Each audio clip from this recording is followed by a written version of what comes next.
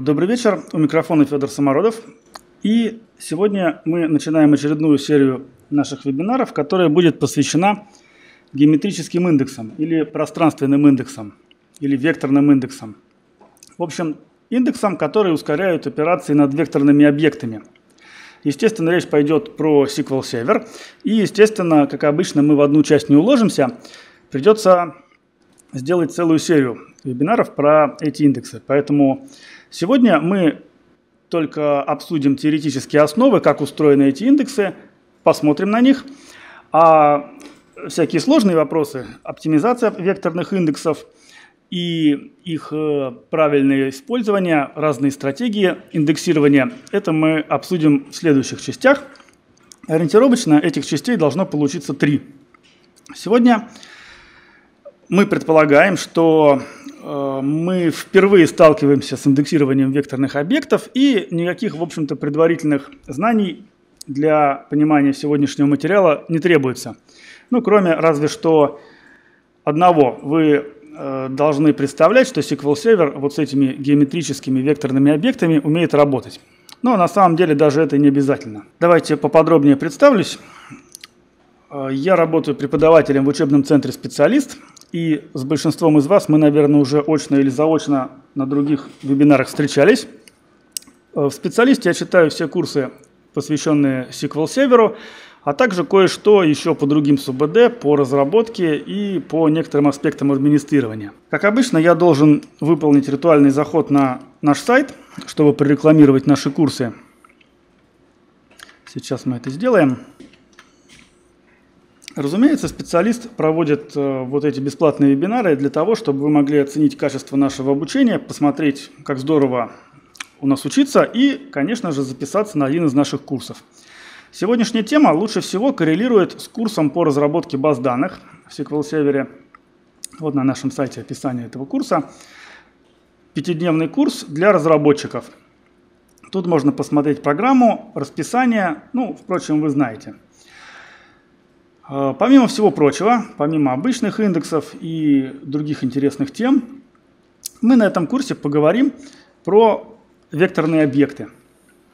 Последний модуль, 14 пространственные данные. Вот здесь мы немножко о них поговорим. И если вы на этот курс запишетесь, и у вас будет желание узнать о этой теме поподробнее, то, конечно, мы в нее можем углубиться. Браузер не закрываю, мы на эту страничку еще вернемся в конце нашего вебинара, как обычно. Также хочу вам напомнить, что у вас есть интерфейс для задания вопросов. Если по ходу вебинара у вас возникнут какие-то замечания или вопросы, немедленно пишите. У меня тут же замигает кнопочка, и я увижу ваше сообщение.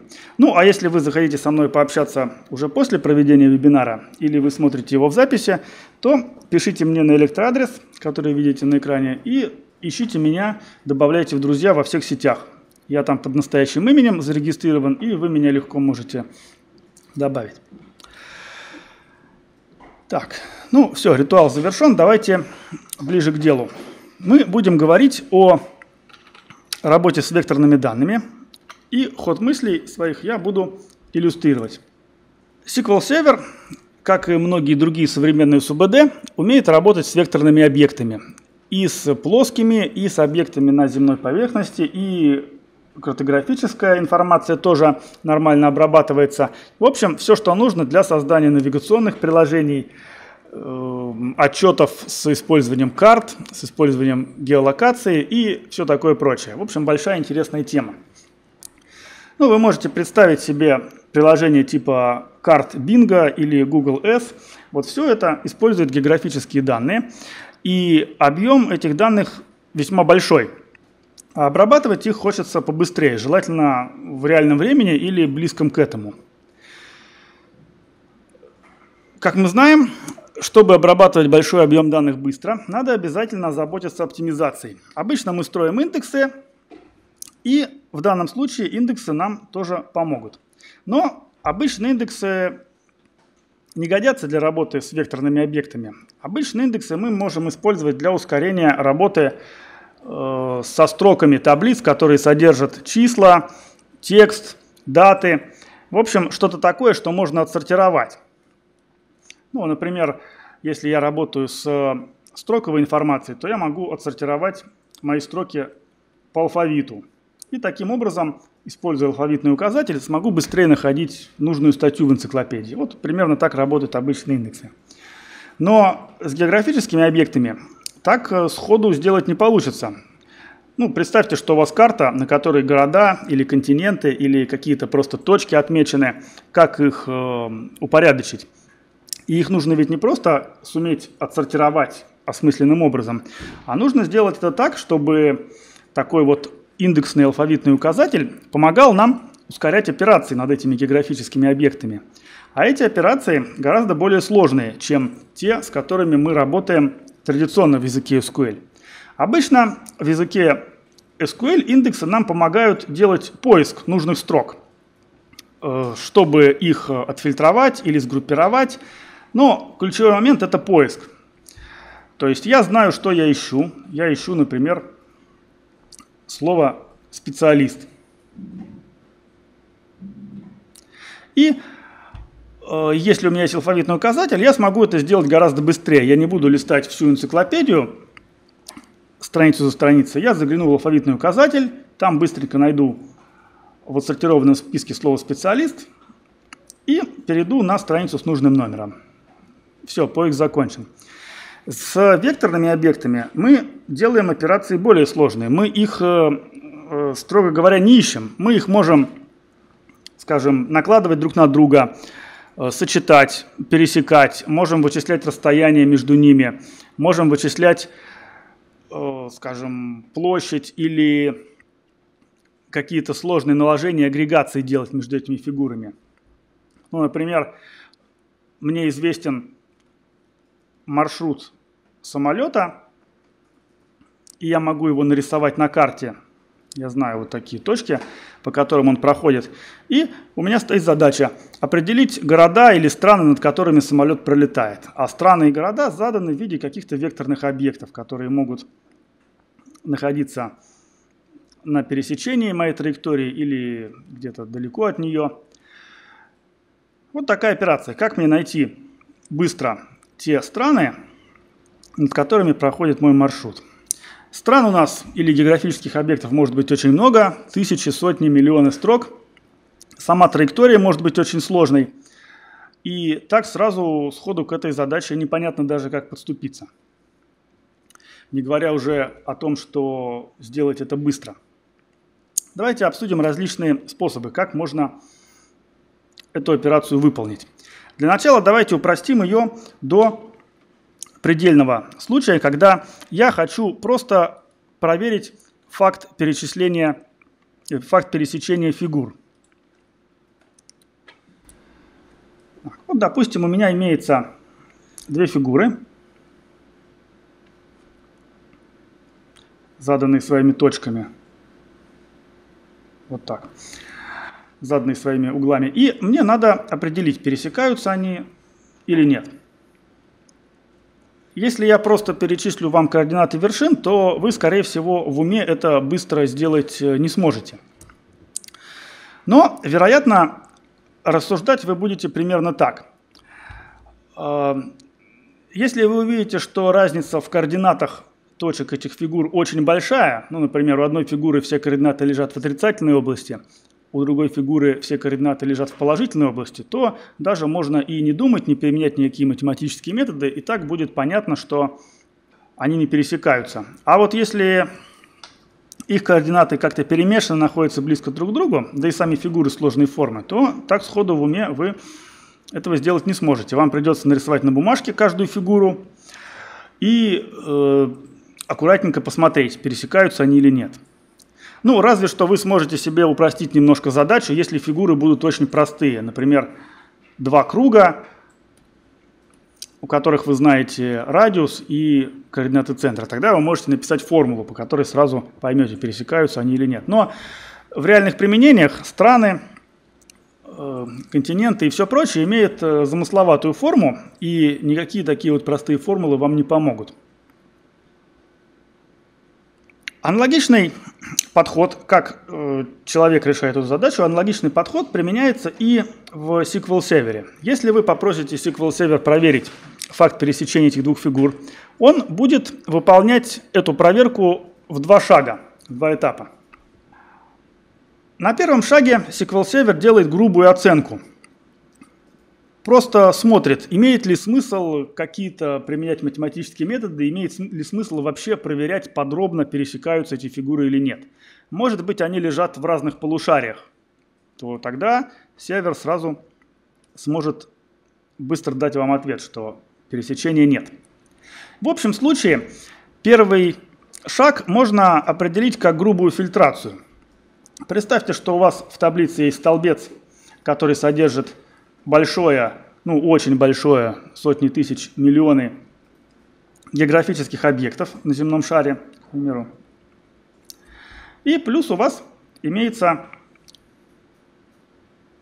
еще один географический объект, траектория полета самолета. И надо проверить, над какими странами самолет пролетает. На первом шаге SQL Server сделает грубую оценку с целью исключить из рассмотрения как можно больше строк в вашей таблице, как можно больше стран, которые совершенно точно по очевидным причинам никак не может пересекать э, самолет. Например, самолет летит из Австралии в Австралию. Сразу можно остальные континенты все отбросить грубая оценка. После этого желательно, чтобы у нас осталось как можно меньше строк. Потому что второй шаг уже заключается в непосредственной проверке с каждой из этих строк факта пересечения. Вот эта вторая фаза, она очень ресурсоемкая и очень долгая. Здесь SQL Server действительно начинает аккуратно э, ну, прикладывать фигуры эти друг к другу и смотреть, есть пересечение или нет пересечения. А, я, кстати, использую в качестве примера проверку пересечения, просто потому что это простая для человека операция. А вообще-то индексы ускоряют не только пересечение, но мы дальше это увидим. Успех всего этого предприятия главным образом заключается в том, насколько эффективно вы сможете или сервер сможет провести первую фазу. Так, отметим. Сначала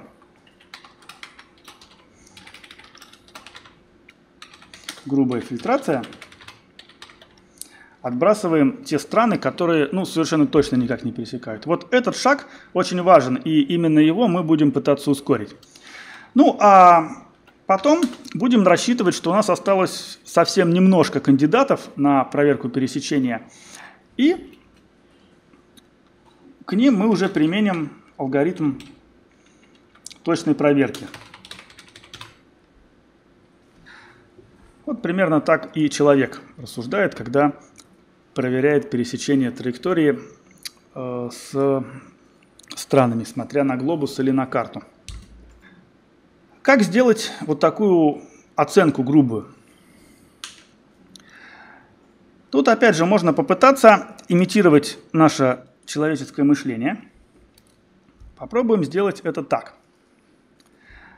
Давайте представим карту.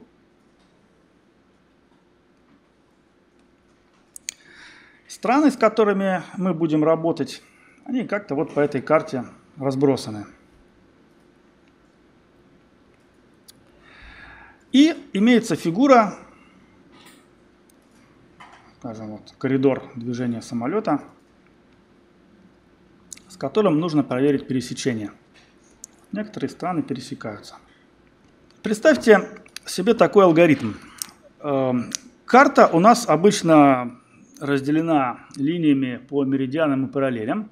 А, а еще можно эту карту, если она бумажная, ее можно складывать. И таким образом абстрагироваться от э, окраин, от остальных частей, которые находятся далеко от самолета, от траектории полета самолета. Вот если бы я на бумажке эту карту разложил, то я, наверное, попытался бы окинуть взглядом вот примерно такой квадрат, и уже внутри него аккуратненько посмотрел бы, какие там страны затрагивает моя фигура.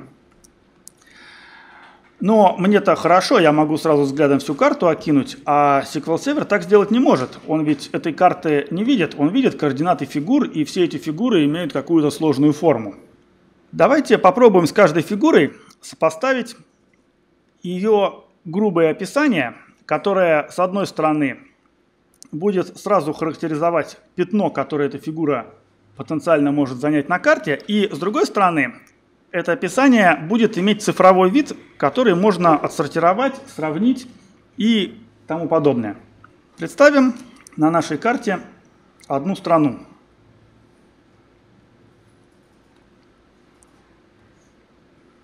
Вот какие-то такие она имеет контуры.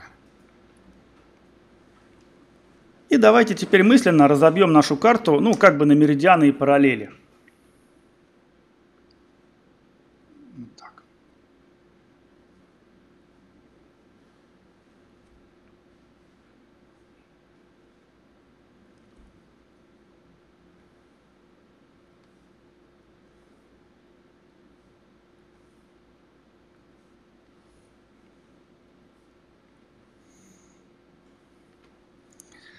А теперь представьте, что эту карту вам нужно отобразить на маленьком-маленьком экранчике мобильного телефона с маленьким разрешением или показать в виде такой маленькой пикселизованной иконки. И вы можете целые пикселы засвечивать или не засвечивать. Э, как вы будете действовать? Вы можете сказать, что вот этот вот пиксел, вот этот квадрат, он целиком лежит внутри этой страны, его подкрасим. Значит, вот этот, вот этот, вот этот, вот этот, вот этот, вот этот и вот этот, они частично захвачены этой страной. А еще возможен третий случай. Квадратик, на который я разбил карту, он может э, этой страны касаться. Вот так вот. Таким образом, мы получим примерную, примерный ареал этой страны, и сразу остальные квадратики, которые я не закрасил, так, еще вот эти вот, остальные квадратики, мы можем из рассмотрения сразу исключить. Так, ничего не забыл. Вот так вот. Вот теперь точно. То есть, если эту страну, эту фигуру оцифровать, и квадратики у меня будут пронумерованы, то я могу через запятую просто перечислить номера этих квадратиков, которые эта страна либо занимает полностью, либо частично, либо она их касается вот здесь вот в углу. Собственно, так делает и SQL Server, и большинство других систем, которые работают с пространственными данными. Для простоты мы квадратики пронумеруем вот так вот, по горизонтали.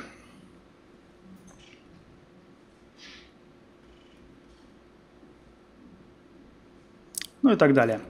И теперь в цифровом виде эту фигуру можно записать так. Так, это будет э, 18, 24, 23, 22. Значит, квадрат 22 занимается этой фигурой полностью.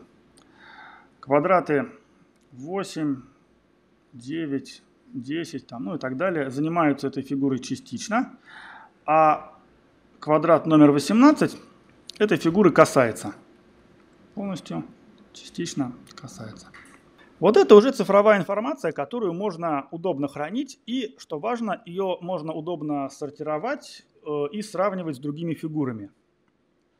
Если мне захочется проверить факт пересечения этой фигуры, вот скажем, с такой фигурой. Я возьму цифровое представление моей фигуры сверху и возьму цифровое представление вот этой фигуры оно будет выглядеть примерно так. Частично занимается квадрат номер 19. Какие тут можно сделать выводы? Я увижу, что э, число 19, квадрат номер 19, в первой фигуре вообще никак не фигурирует. То есть она к нему никак не относится, никакого отношения не имеет. Ну, наверное, можно предположить, что и пересечение тоже быть не может. Значит, эту фигуру можно вообще не рассматривать и вторую фазу, детальную проверку, можно вообще не выполнять. Может так получиться, что фигура выглядит вот так. Она э, частично занимает, в этом случае, давайте я другим цветом нарисую, она в этом случае частично занимает квадрат номер 22, я смотрю в цифровое описание своей первой фигуры и вижу, что 22 квадрат покрывается этой фигурой полностью. Это тоже хороший признак, потому что вторую фазу можно опять же не проводить, можно сразу дать положительный ответ. Эти фигуры точно совершенно пересекаются. Еще случай. Фигура расположена, к примеру, вот так вот. Она полностью занимает 18 квадрат.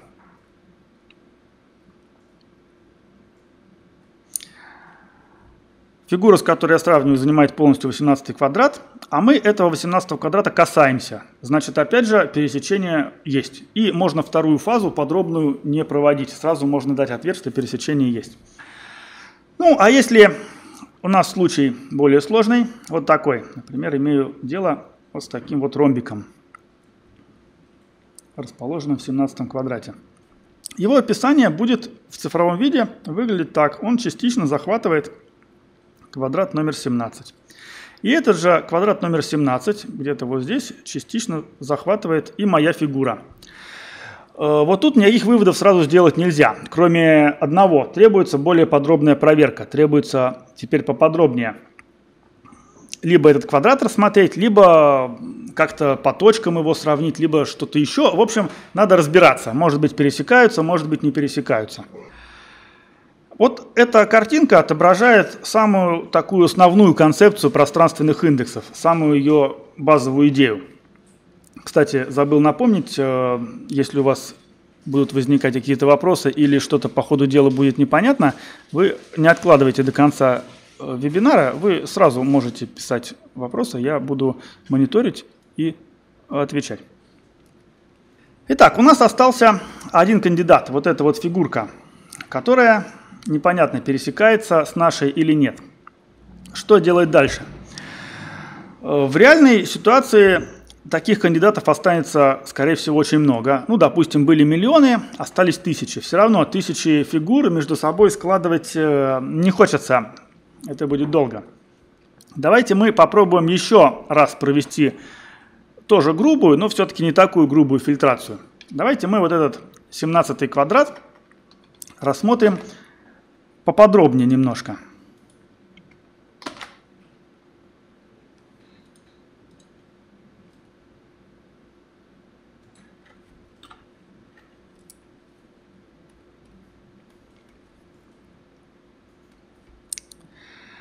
Мы этот квадрат номер 17 увеличим.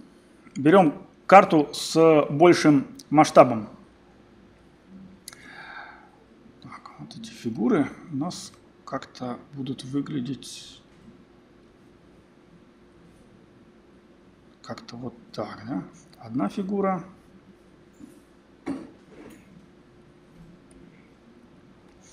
Так, и вторая фигура. Вот так. Давайте этот квадрат увеличим. Вот я его увеличил. И к нему итерационно применим точно такой же алгоритм. То есть я его опять разбиваю на более мелкие квадратики.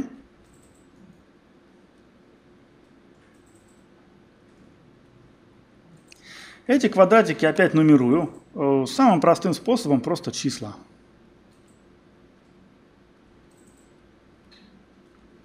Ну и так далее.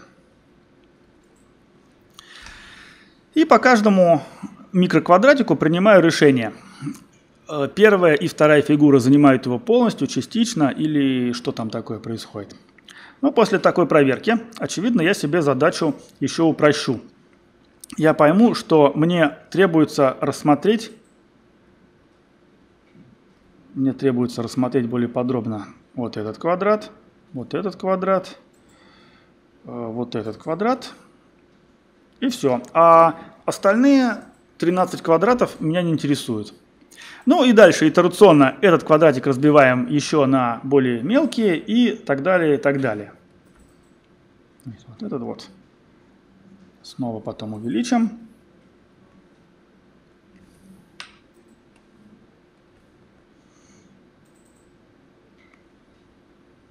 Как-то будет выглядеть вот так вот. Так, и тут где-то торчит -то небольшой кусочек второй фигуры. Ну и далее, далее, далее.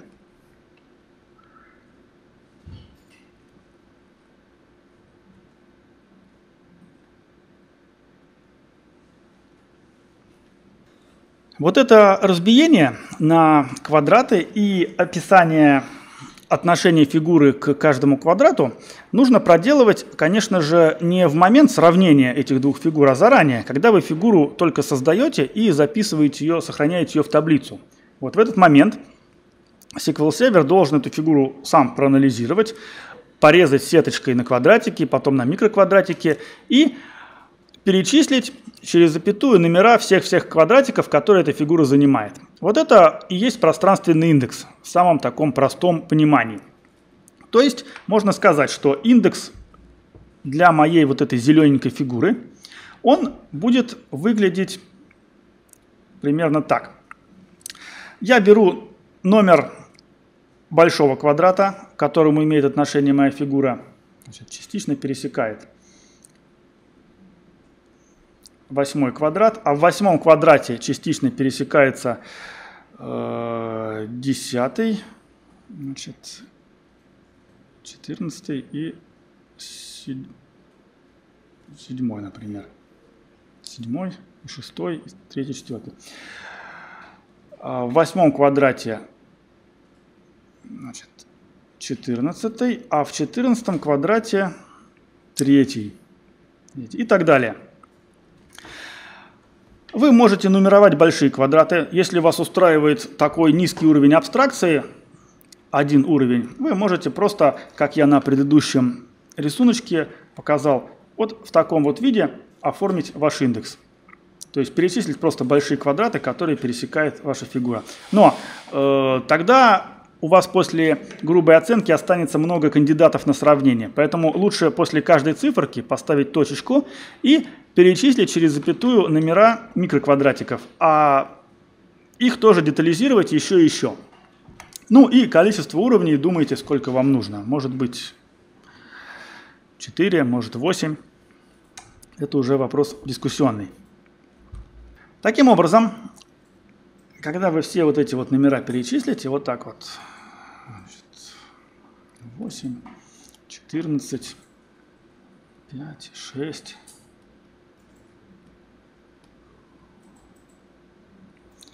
Ну и так далее. Вот эти трехзначные номера микроквадратиков, это и будет ваш пространственный индекс э, со степенью детализации 3, такой трехуровневый. Или можете ограничиться одним первым уровнем, тогда этих э, чисел будет поменьше. Но и отбор будет более грубый. Вот так устроен пространственный индекс в теории. На практике, естественно, сразу э, видно, что есть о чем подумать. Индексы – это очень сложный, непростой вопрос в базах данных. И когда мы обычную табличную базу данных строим с обычными данными, вопрос индексирования занимает у разработчика много времени, потому что нельзя просто взять и проиндексировать все подряд – все подряд по всем столбцам. Э, некоторые запросы будут работать быстро, но и затраты на обслуживание индекса тоже будут тяжелые. Так и в нашем случае. Неразумно будет каждую фигуру предельно детализировать до маленьких микроквадратиков и все их перечислять. Это нехорошо, потому что тогда размер индекса для каждой фигуры будет довольно большим. И чтобы, скажем, страну Россия на карте представить в виде такой, такой проиндексированной схемы, вам придется через запятую перечислить очень-очень много таких цифр. Такой индекс будет занимать много места при хранении. И потом не забывайте, что когда SQL Server будет производить грубое сравнение фигур между собой, грубую оценку, он будет вынужден как бы делать join этих списков. То есть он должен сравнить все квадратики, которые пересекает одна фигура, со всеми квадратиками, которые пересекает другая фигура, и посмотреть, нет ли там пересечений, нет ли там совпадений. Желательно, чтобы эти списки были покороче, тогда вот это грубое сравнение будет проходить побыстрее. Поэтому э, просто так э, детализацию мы не увеличиваем. При разумном подходе к индексированию векторных данных мы должны стараться длину вот этого списка сократить, чтобы он был как можно короче. Здесь есть э, несколько стратегий, несколько вариантов, как можно поступить. Ну, во-первых, можно уменьшить количество вот этих уровней детализации. Не докапываться до третьего уровня, а ограничиться одним или двумя. Во-вторых, Можно подумать, на сколько квадратиков мы будем резать карту на каждом уровне. Можно вот на 16 порезать, как я сделал на втором-третьем уровне. Можно побольше их выбрать. Тогда детализация будет повыше, но индекс будет больше. Это способы очевидные. Есть э, способ более продвинутый, который и применяется в современных базах данных. Он заключается в э, следующем. Мы детализируем не все квадраты, к которым имеет отношение фигура, а только те квадраты, по которым проходит граница. Ну, представьте Россию, большая территория, и понятно, что внутрь попадет очень большое количество больших квадратиков на первом уровне детализации. Нет смысла их все детализировать э, и э, до второго-третьего уровня. Давайте будем детализировать только те квадратики, где проходит граница. Сейчас я еще раз скопирую в новое окошко и дорисую эту идею.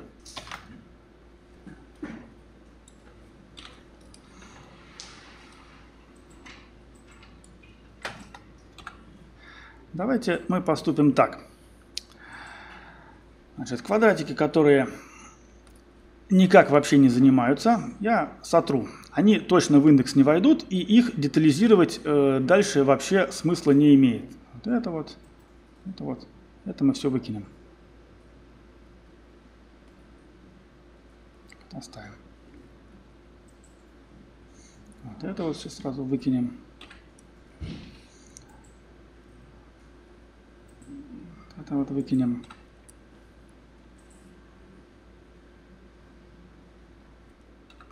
Вот это. Так, и вот это вот. И еще вот это.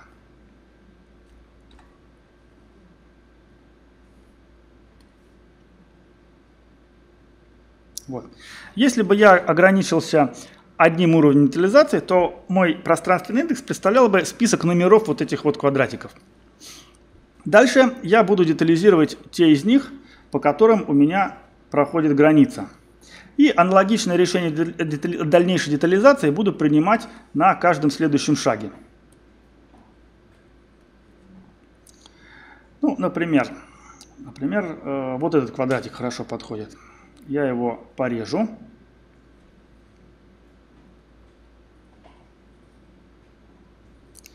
И дальше опять сотру те квадратики, которые вообще никак к фигуре, к моей не относятся. Вот так вот. У каждого из этих оставшихся маленьких квадратиков будут уже двузначные номера, разделенные условной точечкой и каждый из них тоже на следующем шаге итерации мне придется порезать. Ну, дальше я уже подробно не смогу нарисовать. Мой алгоритм должен привести примерно вот к такой картине.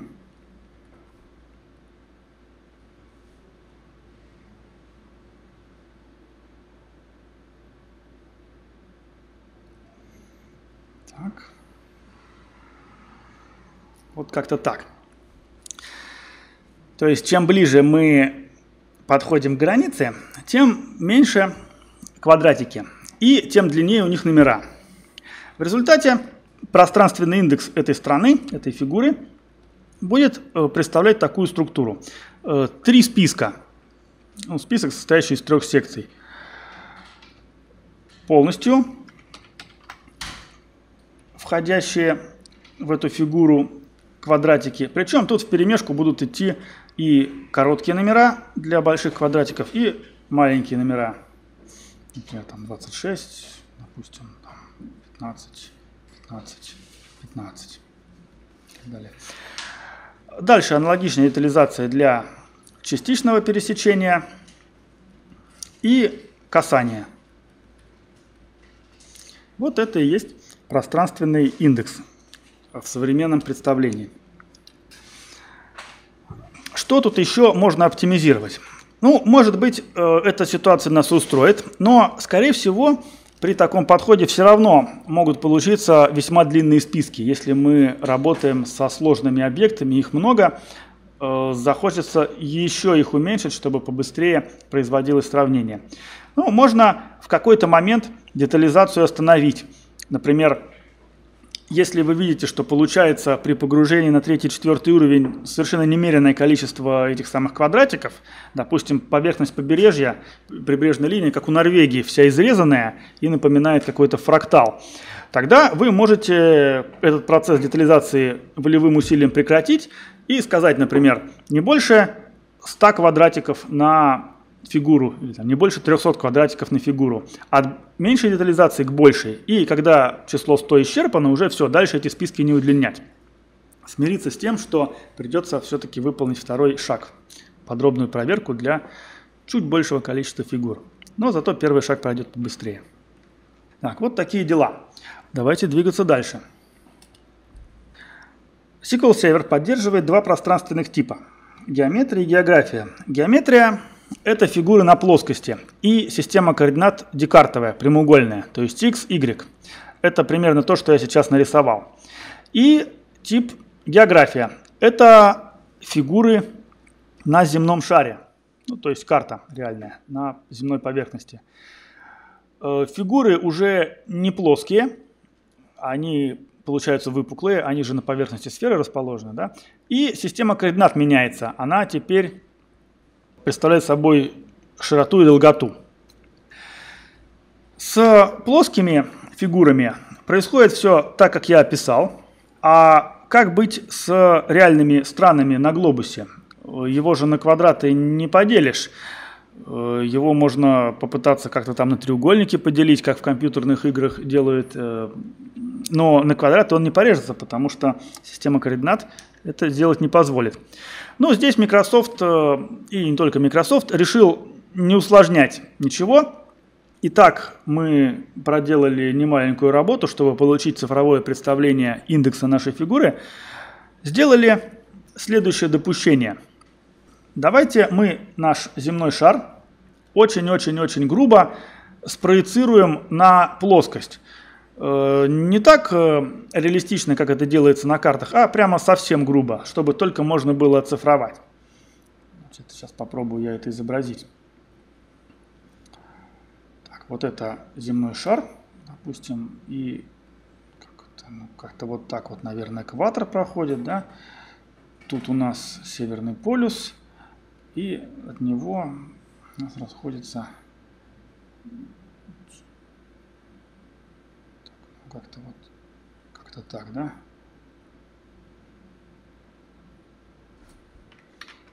Как-то так вот меридианы. И как-то так параллели.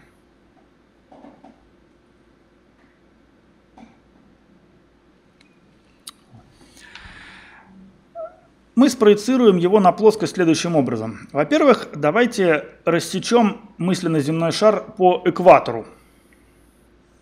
Вот так вот, плоскостью, проходящей через экватор, мы его посечем.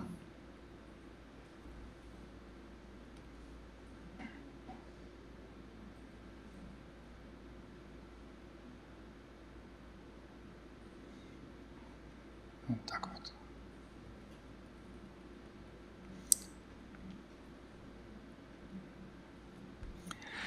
А дальше отдельно спроецируем на плоскость северное и южное полушарие. И сделаем это так. Плоскость проекции у нас будет э, представлять собой э, многогранную пирамиду симметричную.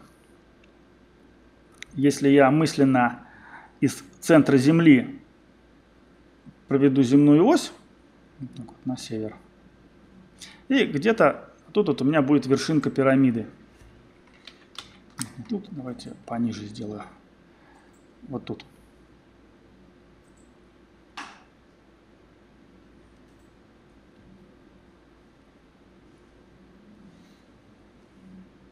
Вот такая шикарная, шикарная пирамида у меня, четырехгранная.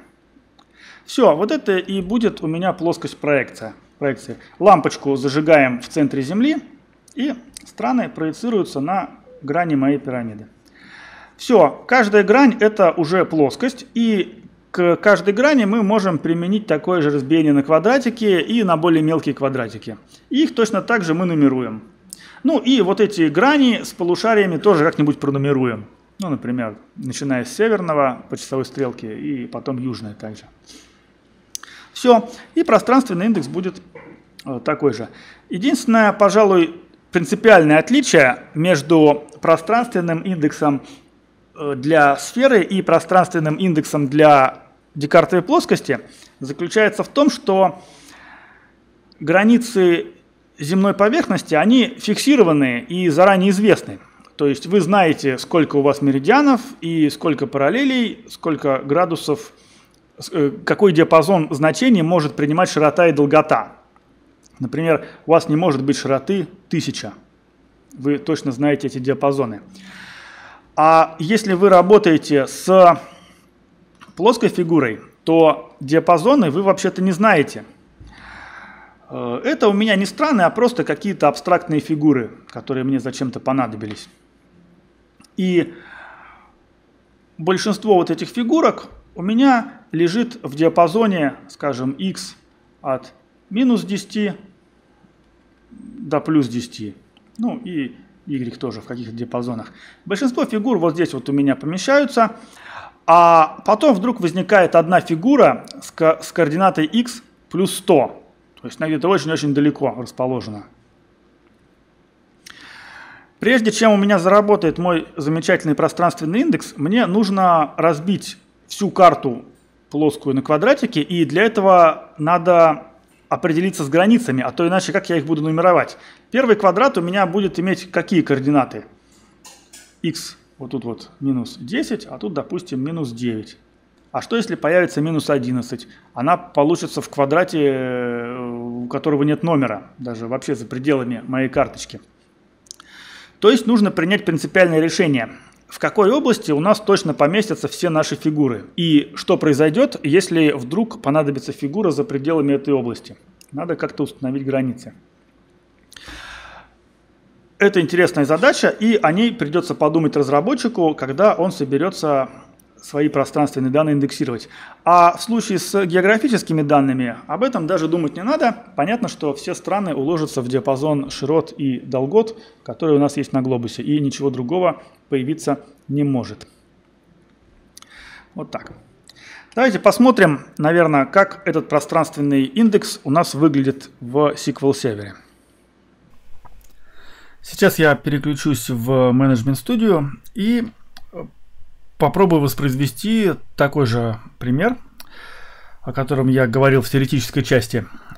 Траектория самолета и страны, над которыми он пролетает. Вот такую простую операцию попробую на ваших глазах выполнить. Как обычно, у меня никаких готовых э, скриптов нету. Я буду все делать с самого нуля на ваших глазах прямо. Начинаем. Сначала мне, наверное, надо создать табличку, в которой будет храниться некоторое количество географических объектов, ну, условных стран, которые будет или не будет пересекать моя траектория. Создам табличку в самом простом виде, в самом простом варианте, как только я могу придумать.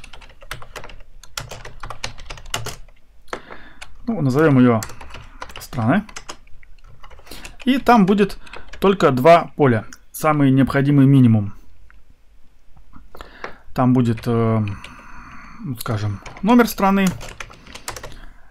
целое число. И сделаю сразу его автоинкрементом.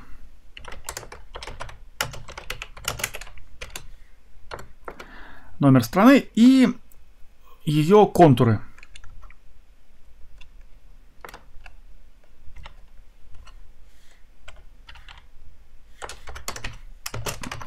поле будет называться карта.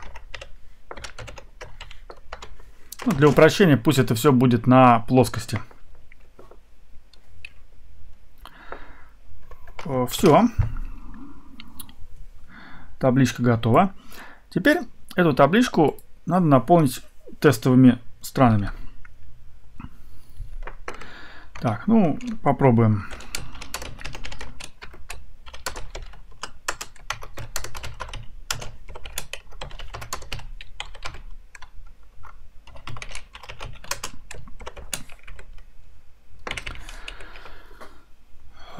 Контуры страны – это э, такой многоугольник, может быть э, неправильные формы с дырками и так далее.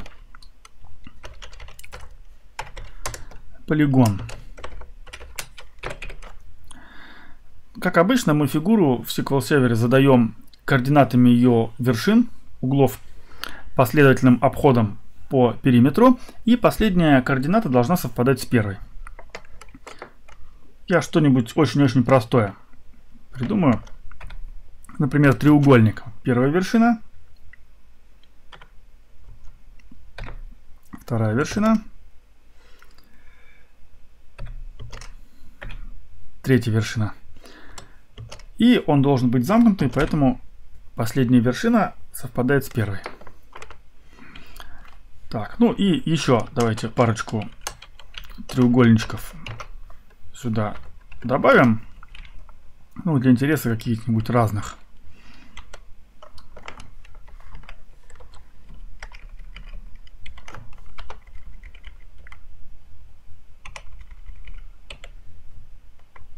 так, например.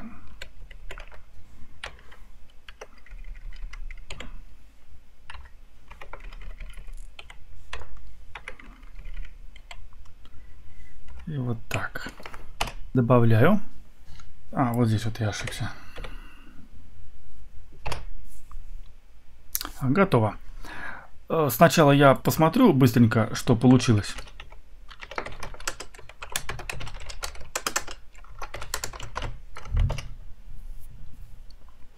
Если результат запроса содержит пространственные данные, то менеджмент студия показывает мне их.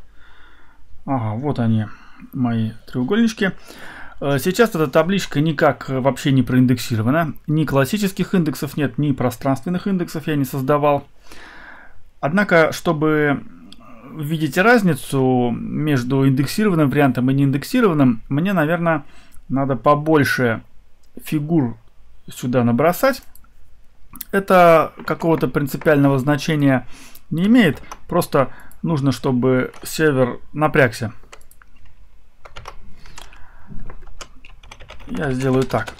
Возьму все эти три фигуры и еще раз их добавлю.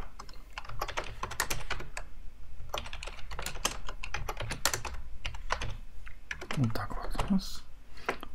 Теперь 6 строк. Теперь 12. Ну, еще несколько раз подобавляю. Ну, вот так, 3000 строк. Десяток тысяч примерно. Годится. Так, посмотрим, что получилось. Треугольнички должны остаться те же самые, просто теперь их стало очень много. Хорошо. И еще мне нужна траектория, которая будет или не будет эти треугольнички пересекать. Так, давайте придумаем. Траекторию я не буду записывать в таблицу, я для нее просто переменную создам.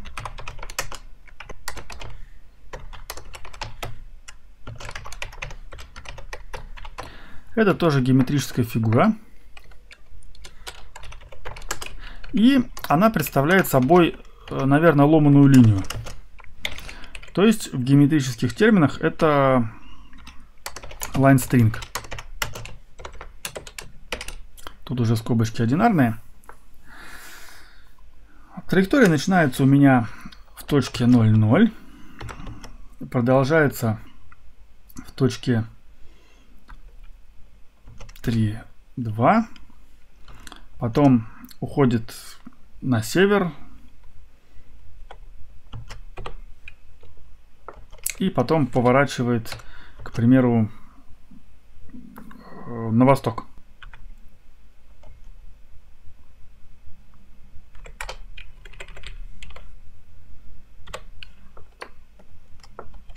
Вот так. Посмотрим, как она выглядит.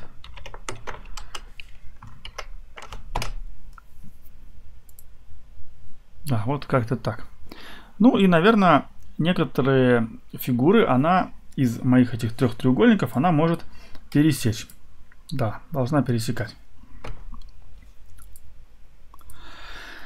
Э, проверим это. Запрос, который выбирает страны, над которыми пролетает наш самолет, выглядит вот так. Я говорю серверу, покажи мне, пожалуйста, страны, но не все, а некоторые. Покажи мне те страны, в которых карта страны пересекается. Пересекается это что значит? Значит метод st intersects с моей траекторией дает единичку. Вот моя траектория. Опа.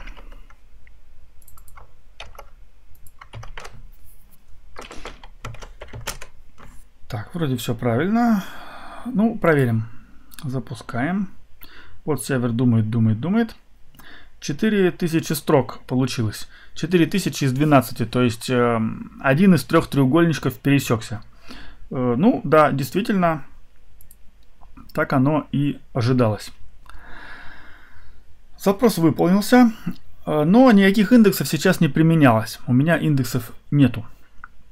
И давайте посмотрим на план запроса. Еще раз его выполню. Посмотрим на план. Ну вот, план выполнения предельно простой. Поднимаем таблицу с диска и потом применяем некий фильтр. Вот, и в предикате этого фильтра видим st-intersects.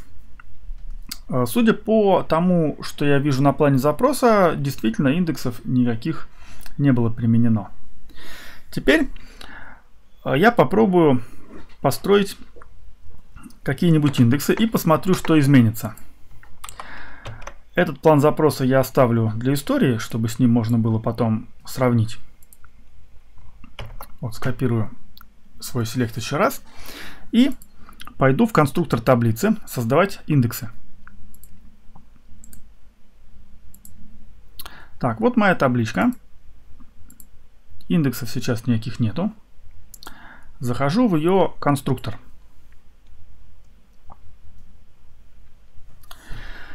Для того, чтобы построить пространственный индекс по какому-то столбцу, надо, чтобы у нас уже был обычный уникальный индекс. А, это важно, это нужно не для ускорения пространственных операций, а для того, чтобы сервер мог связать строку с пространственным индексом для фигуры, который там, который там будет храниться. Ну, в моем случае решение очевидно. Давайте я объявлю первичным ключом номер страны. И, вероятно, для нее сразу создастся кластерный индекс, и он будет уникальным. Посмотрим. Да, вот он. Хорошо. Пространственных индексов пока по-прежнему нет. Ну, посмотрим, что с планом запроса. Я еще раз запрос выполню и посмотрю. Принципиально ничего не изменилось. По-прежнему 99% стоимости запроса это фильтрация. Единственное, что теперь у меня сканируется не куча, а кластерный индекс. Вот. Но эта ситуация нам не интересна. Интересное начинается создание пространственного индекса. Пространственный индекс можно создать э, в конструкторе таблицы, а можно создать его э, из э, ветки с индексами, вот прямо вот отсюда. Если я конструктор закрою, то у меня активируется меню «Создать индекс» и там будет пространственный индекс. Если вы создаете пространственный индекс, индекс из конструктора, то обратите внимание, он создается при нажатии вот этой кнопочки управления пространственными индексами. Но нажимать ее надо, когда курсор у вас стоит на столбце, содержащем геометрические или географические данные. Вот тогда при нажатии на эту кнопочку вы сможете индекс создать. Если вы на нее нажмете, а курсор у вас стоит на каком-то другом столбце, ну на обычном размерном столбце, то видите, у вас заблокированы кнопочки «Добавить», «Удалить» и ничего тут создать нельзя. Пространственный индекс таким образом создается не для таблицы целиком, а для отдельных ее пространственных столбцов. Вот у меня есть пространственный столбец карта, ставлю на него курсор – и перехожу к управлению пространственными индексами. Вот, здесь можно их создавать. Добавляем.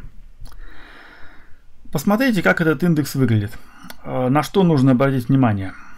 Ну, во-первых, схема тесселяции, смотрите, геометрическая, географическая. Во-вторых, окно, которое будет проиндексировано вот от скольких до скольких координат у нас могут располагаться страны. Ну, давайте скажем до 20 от минус 20.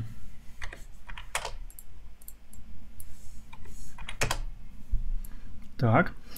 Дальше для каждого из четырех уровней разбиений, помните, большие квадратики, мелкие квадратики, сверхмелкие и наноквадратики, мы можем выбрать уровень детализации, насколько плотную сетку нужно накладывать.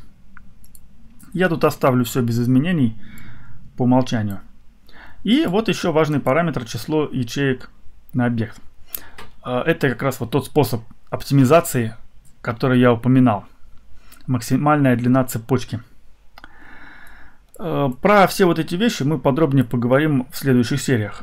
А, еще раз к этому вернемся и вот по всем параметрам подробно разберемся, как их правильно выбирать и на каких задачах какие полезно использовать стратегии индексирования. Так, ну, в общем, все. Закрыть. Сохранить.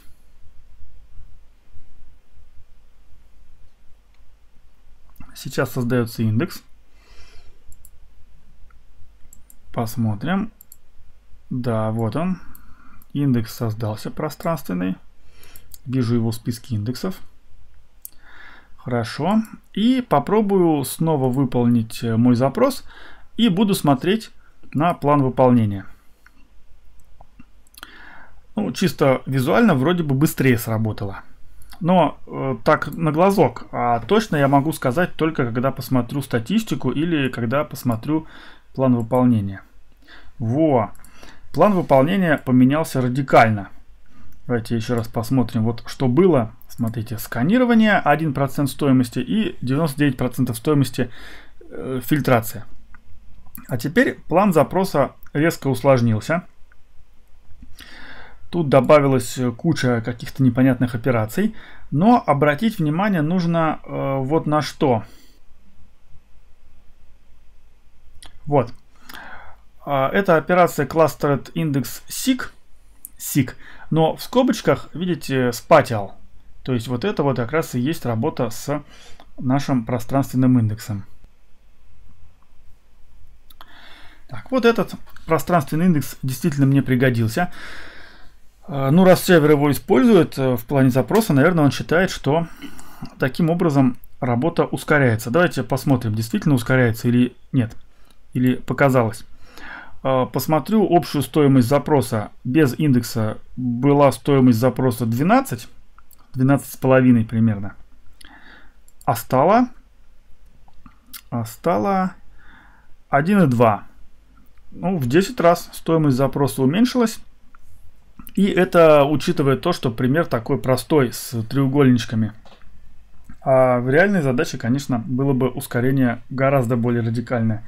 Не на один порядок, а на несколько порядок, порядков. Ну, как видите, пространственные индексы действительно работают и могут быть полезны. Мы сейчас знаем, как они устроены.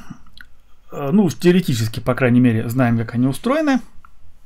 А дальше в следующих сериях будем разбираться, что с этим теоретическим знанием делать. Напоминаю, что э, вот такие вещи, векторные объекты, индексирование и все такое прочее, мы изучаем на курсах для разработчиков баз данных в нашем учебном центре, в учебном центре специалист. И если эта тема вам понравилась, если вы заинтересовались векторными данными и уже сейчас прикидываете, как бы их применить, то приходите к нам на курсы. Курсы по разработке, наверное, больше всего коррелируют с темой нашего вебинара. Но на нашем сайте вы найдете и другие интересные курсы по базам данных, в которых тоже рассматриваются пространственные данные. Или, если не хотите у нас учиться, почему-то ждите следующей серии из нашего цикла вебинаров про пространственные данные. Там мы разберемся с практическими задачами индексирования вот этих самых векторных объектов. Подумаем как выбирать детализацию на разных уровнях и определимся, какие стратегии нужно исповедовать в тех или иных практических задачах. Ну и, конечно, поработаем уже не с треугольничками на плоскости, а с реальными географическими картами. И посмотрим, как там обстоят дела. Есть ли хороший эффект от наших индексов или нет. Ну что ж, друзья, вот и все, что я хотел рассказать в первой серии. Если эта тема вас заинтересовала или у вас есть какие-то идеи, пожелания насчет э, тем для будущих серий вебинаров, не стесняйтесь, пишите электрописьма, добавляйте меня в друзья. Э, ну и приходите к нам учиться в учебный центр специалист. До новых встреч. До свидания.